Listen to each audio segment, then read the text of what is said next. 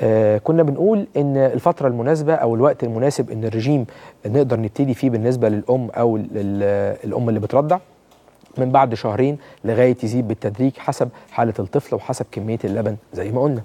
فما نقدرش نقول إن في وقت محدد عشان الأمهات نفسها ما تحبطش لأن ممكن تلاقي الأم اللي لسه والدة زادت لها 10 12 كيلو في فترة الحمل وهي كان عندها 5 6 كيلو من قبل الحمل.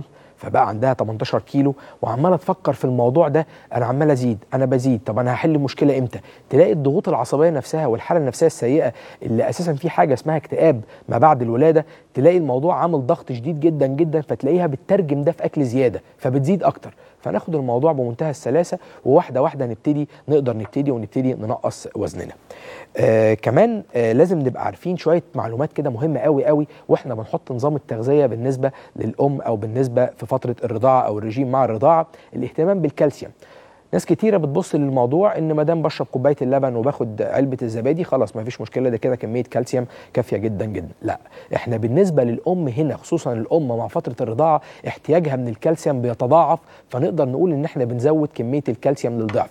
وكالسيوم جاي من منتجات الألبان يعني اللبن الزبادي الجبنة قليلة الدسم وطبعا في بعض الفواكه والخضروات فيها شوية نسبة كالسيوم بس إحنا بنحاول نركز على الكالسيوم اللي موجود في السوائل عشان يبقى عملنا كذا حاجة في كذا حاجة. حاجة. اولا كمية السوائل بتزود معانا لبن الأم.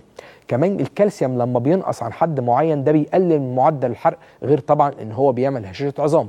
فيبقى أنا عملت مشكلة إن الكالسيوم قل آه الأم بقت معرضة لهشاشة عظام كمان معدل الحرق قل فتلاقي نسبة الزيادة في الوزن بقت أسرع. ودي حاجة كتيرة آه بنقابلها في العيادة وتلاقي الأمهات مش عارفة تقول لك أنا أكلي هو هو وباخد برضو بشرب كوباية اللبن وباخد علبة الزبادي بالليل ولقيت إن عظمي ابتدى يوجعني. ابتديت إن أنا كل شوية أحس آه بوخم وإن أنا آه مش قادر أعمل أي حاجة ولو وقفت شوية رجليا توجعني وإيديا توجعني.